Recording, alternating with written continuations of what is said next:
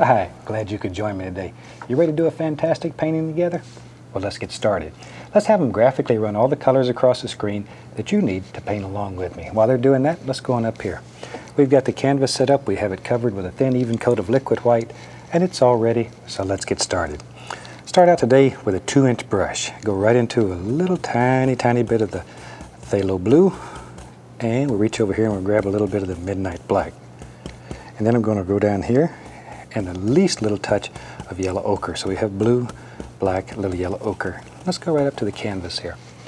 And let's put us in a happy little sky today. Just using little crisscross strokes, let it just sort of float across the canvas. Just make all those happy little things and maybe skip a space. And then we'll come down here. We'll have a cloud or two in there. Just sort of skip a space. And go right on like that. Okay, while we have that brush going, put a little water. Today we're going to do the little animated opening. That's the little painting that you see go blip, blip, blip at the beginning of the show. So I'll show you how that one was done. All right, there's a little water in it, so we want a little touch of water right here. Now this may not be an exact duplicate of the opening, but it'll show you how it was made. They give me quite a bit of time to paint that, and then some fantastic people animate it. They do that one frame at a time. So it just sort of comes alive. There we go. Okay, and that'll be our water right in there. Alrighty, I'll wash the brush, give it a good scrub, shake it off, beat the devil out of it, cover everybody in the studio here. I'm gonna go right into, right into titanium white. Pull that brush through the paint. Get a lot of paint on it. Let's make a happy little cloud up in the sky. Let's go right up here. And we'll just work in a little cloud. I don't want a big bright cloud. Just want a tiny little cloud. Floats right around here and has some fun. Just sort of work him in. This is just straight titanium white. Little circles. See there? And we'll have another little cloud lives right here. Clouds just sort of float around and have fun, so they're free. They're really free. There we are. That quick. That quick. We have a happy little cloud in the sky. Now with a clean brush, and I have several of each brush going so I don't have to spend a lot of time washing all of them. Just blend it out a little little circles. Give it a fluff. And if you remember that little painting at the beginning of each show, there's not a whole bunch of sky that's going to be left showing, so we don't have to worry a great deal about it today. Knock off the excess paint there, blend it out, and we're ready to go. That quick, we have a happy little sky. Now then, make some little background trees. For that, I will take a little touch of Prussian blue, midnight black, shoot with a little brown in there too. A little touch of the yellow ochre. Just a small amount of the ochre, it'll turn green on you. And let's pull a little bit out into that. I'm going to add titanium white. There we go. Well, maybe a little more white, just like so. That's good color. Okay, clean off my knife here. Today let's use the old fan brush. We'll load it full of paint, a lot of paint, both sides. Just go right up here. And we had some little background evergreens. Just start off, take the brush, and just sort of work back and forth, back and forth, back and forth. See? Put in the centers. You can put in as many or as few as you want. And then come back. That easy. And turn all those little little sticks into happy little evergreens. And these are far away, so you're not looking for a lot of detail back here. Not looking for a great deal. There. And, oh, there's another one. There's another one. Now you could make these with a one inch brush. Works very well. Two inch brush. There. Same, same way. Just Load the brush to a chisel edge and take off. There we go. Let's have one more right there. What the heck? They're so much fun, you sort of get carried away with them. But that easy. That easy. You can make a whole little forest. Now we can tap that. Just tap it. Give it a little upward lift. It'll create the illusion of mist and fog and all kinds of pretty little things. Take the same color. I'm going to add a little touch of the little touch of the Van Dyke brown to it. Tiniest little amount. Tap the brush into it. Let's go right up here. There. And we'll make a little a little bit of land that comes right down through there. And this helps sort of push everything back. It creates another plane in your painting. Creates that illusion of depth that we talk about all the time. Very important in painting. Now, while we have this on the brush, grab it, just pop it straight down. Just give it a snap. Blip. See there? Some over here. Then very lightly, very lightly go across. Hmm, and we have instant reflections. That easy. Now then, let me take a little liquid white, pull that out, cut across it.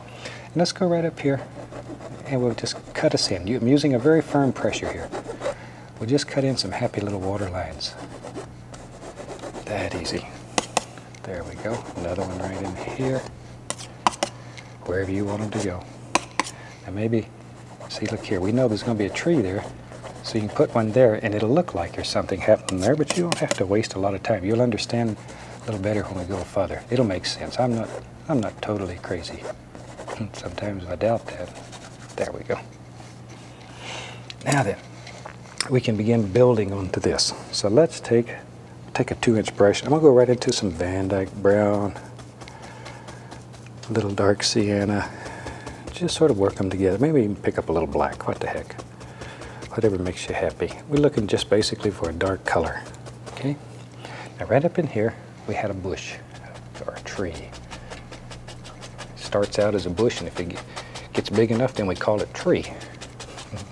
And trees will cover up a multitude of sins. They're your friends. See there? Brings that whole corner together. That easy. A little more of the color.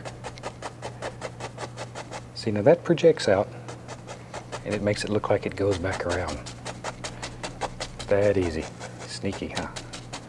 While we have this on the brush, once again, let's just tap it downward and we can create, we can create a happy little reflection. That easy. That easy. I used to be a traditional painter. Now I would work as hard making these reflections as you can believe. I had worked myself to death trying to make them. Shoot. Reflections are one of the nicest things that happens. I'm going back into that good old dark color. Let's come right in here. And let's have a little thing. Comes out. See it? Right there. Right there. Just drop it right in.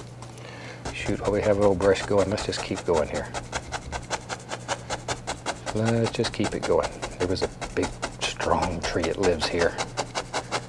Mm. Now, sometimes you can get carried away and just cover up the whole canvas, and that's all right, as long as you practice.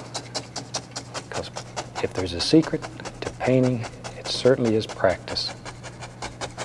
That's the only secret there is, because we show you everything you need to know here do fantastic paintings. All you need to do is take what we give you, practice a little bit, and just do all kinds of unbelievable things. Straight down, across, and that quick, we have happy little reflection there. Now then, I want to take, here's my other brush. This was the same old color we made these trees out of. Let's just come back in here, behind here, in case some of this shows through. And we'll make the indication of distant, distant trees. These are far, far away. A couple of those may show through. A couple of them may not. We may just cover them up. Who knows? We'll take some brown. Now, let's come right in here and we can just, shoot, we can just paint this on just like we was painting the barn. Just la la la la la la, paint it on. This is going to be our path. Remember, there's a little path in there just like so. And we had all kinds of happy little things growing along the path. And all we're doing here is just blocking in color. We're just blocking it in. We'll come back and we'll put all the little, the little highlights and the little, the little sparklers in there. Another little tree lives right there. See there? That quick, you can block in an entire painting. And all we're doing is just putting in the dark. Got to have the dark so the light will show. Look at there. All right. Maybe, maybe, maybe, maybe right down in here. I want that to be a little good and dark. There's a lot of shadows under there. A lot of shadows.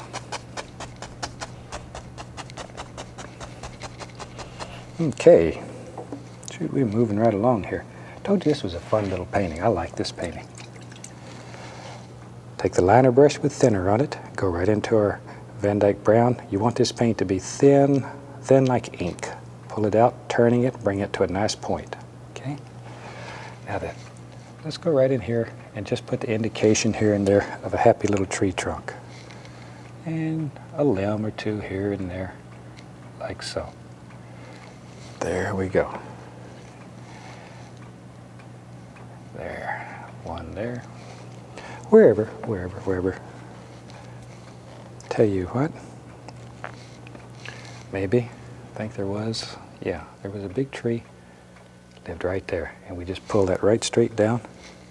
Then let's put a few little limbs on it, like that. See there? See how easy those little limbs are? And you put as many or as few as you want in there. This is your tree, so you have to make the big decision. Are there a few limbs, a lot of limbs, no limbs, whatever. Any way you want it, you can do it. You can do it. Just like so. And you could even, even in here, see, most of these will be covered up, but maybe a couple of them will show through and it'll look like you have all kinds of little details in your painting. Now when I'm doing these, sometimes I pull down, sometimes I pull upward, just whichever way feels right and whichever way works for you. That's the way to do it. That's the way. There's one. See all these little sticks and nails? But let them get smaller as they go back and it creates, already you're beginning to see distance in this painting. Already just by putting those few little sticks and twigs. It looks like you could go back in there. And we've only pedaled around here for just a second. Okay, wash the old liner brush off. And let's begin playing here. Okay, grab the old two inch brush. Let's go into some yellow and some yellow ochre. Reach over here and I'll grab a touch of the touch of the bright red and load the brush full of paint. Just tap it tap it, tap it. Okay, let's go right back up here. Let's begin putting some beautiful fall colors on some of these trees, see? All you do, is just use the corner of the brush and make little clumps, little, little patterns here. Don't just hit it random and sort of think about what you're doing and look at it. See the little clumps? That's what separates the tree. It gives it individuality. Practice that a little bit because that's what will make your tree stand out and really make it spectacular. Down here, we have all kinds of little bushes, just all kinds of them. Shoot, here's a nice one. And you do layer after layer after layer. Do one bush at a time. Don't get in a big hurry and try to do them all at once. There you go. I knew you could do it. Knew you could do it.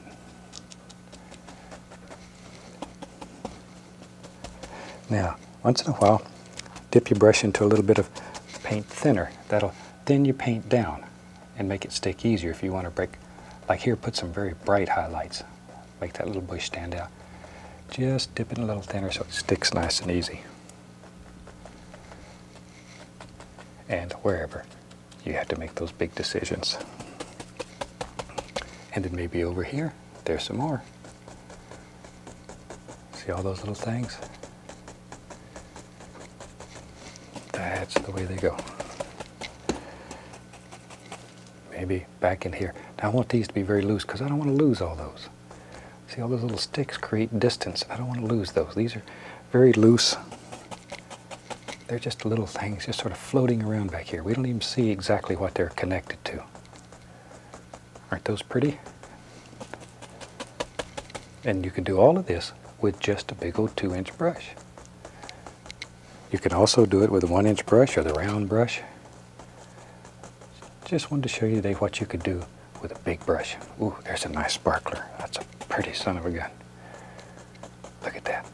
See? And work forward, forward, forward, forward. Always coming forward. Always working forward.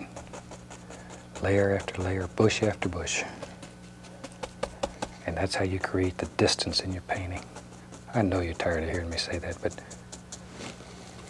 that's, to me, is what, what makes good paintings. Paintings that have distance and depth. And I look for that in paintings. There we go. There. See that? Look how much distance is showing there. Just because we layered it and went back, back, back. Okay, let's put some dirt in there. We need something for all that to set on.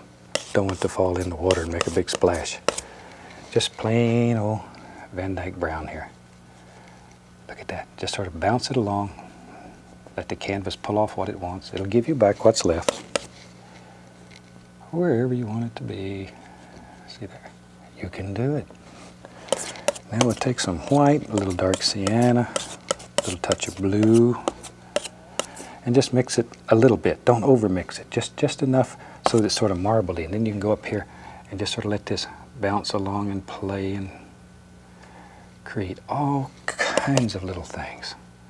Looks like little stones and hills and bumps and okay, just wherever, wherever. And maybe where you live, maybe stones and rocks and dirt is a different color in that. So you change the colors to match what you want. All we want to do here is show you how. What you do is up to you. Because painting is, oh, it's, it's an individual thing and it should make you happy. It should set you free. And I think if you're like me, we're all looking for freedom. We're looking for an escape, someplace, someplace that's nice. There's no pollution. Nobody's mad. It's a happy place. It's a happy place. And that's what you create on your canvas, is a happy place talk too much. Fan brush. Get a little sap green to throw in there. Yellows, just whatever happened down here. Load that brush full. Let's go up here. Now then, let's follow right down. Look at there. Just push upward. See, use the corner of the brush. If you use the whole brush, you're going to get smiley faces. If you start getting smiley faces, turn your brush more to the corner more to the corner. Okay, over here, put in a few little things. Tell you what, let's put some dirt over here. This side's getting left out. There it comes. There it comes. See there? And maybe some of it sneaks right on back up in there. Some highlights, dark sienna, white, little touch of blue here and there. Very little blue though. Just want to gray it. The blue is just, just to gray it. Just to gray it. A little liquid white. Come right in here. See there? Put a little water line under there. Shoot, you can do it that quick. Then we come right in with our fan brush and bring all this together. Isn't that neat? Okay. All right, a few little bushes hanging over. Maybe there's a couple of little things that live right here and just sort of hang over. Wherever you want them. Wherever you want them. Okay, tell you what, let's do. let's play with a path.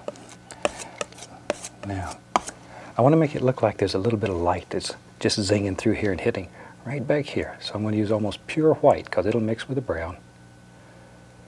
it'll mix with the brown. And then it'll get darker, darker, darker as it comes around. I want to add a little touch of dark sienna in there. Start blending that all together. Maybe a little light zinging through there. That's one of them happy accidents. There.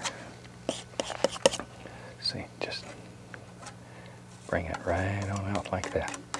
Now then, now then, let me take wash my fan brush here. Dry it off on a paper towel. Now very lightly, just want to barely touch, just caress the canvas. I want to just bring all this together. Now, this is a thick paint, so you can do this and get away with it. See? See how smooth that brings it all in? Without destroying. You don't lose all these things. You just blend them in and soften. Okay, now then we can go back. Let's bring all kinds of little happy bushes that hang right over the path. And that'll push the path right down into the painting so it fits. See there? And now, now you feel like it belongs there. There we go. And you can put as many or as few, whatever. Shoot, when I got this brush going, I'm gonna add a little, little red, so that'll make an orangey color. And back up in here, just barely touching. Want to put the indication of all kinds of little, little things happening back up in this big tree. There they go. See them? Just little indications. We're not looking for a lot of detail here. Most of this also will be covered up because we're going to put some big, fantastic trees in there. Big old trees. I'm going back into some dark paint. This is the blue and the black.